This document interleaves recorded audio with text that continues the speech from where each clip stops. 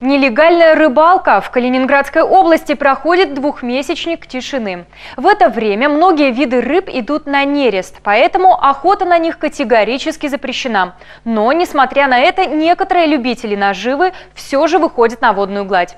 Так, в ходе очередного рейда сотрудниками рыбоохраны были задержаны трое мужчин. Злоумышленники пытались кустарным способом выловить ценные породы рыб, но мужчины и не подозревали, что все это время за ними следили сотрудники рыбоохраны. Когда же на горизонте появились мужчины в форме, преступники поспешили скрыться. Вот посмотрите, какие покрышки, мы за ними двигались, не могли их остановить.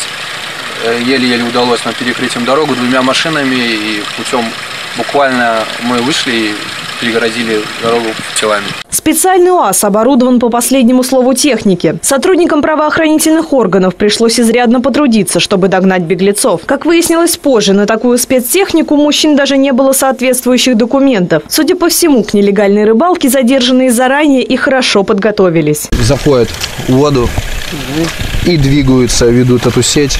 Грубо говоря, как используют как бредень, как невод такой.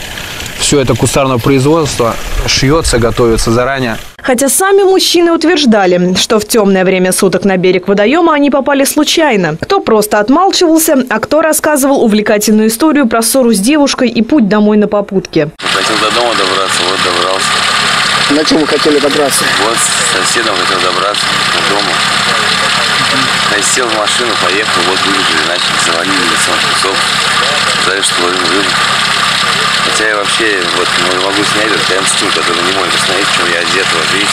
Я также прогуливался с девушкой, поругался. Можете пояснить по поводу вашего задержания здесь? Ну ничего, с собакой. Что с собакой? Взял. Основу улова мужчин составили судак и лещ. Таким образом, злоумышленники нанесли непоправимый урон экологии. Ведь каждая самка этих видов рыб на нересте приносит от 200 до 800 тысяч икринок. Мы находимся на нересте леща, леща и судака. Хочу напомнить, что сейчас проходит двухмесячник по охране весенне нерестующих видов рыб. 20 апреля по 20 июня рыба подошла на нерест. Мы работаем в усиленном режиме.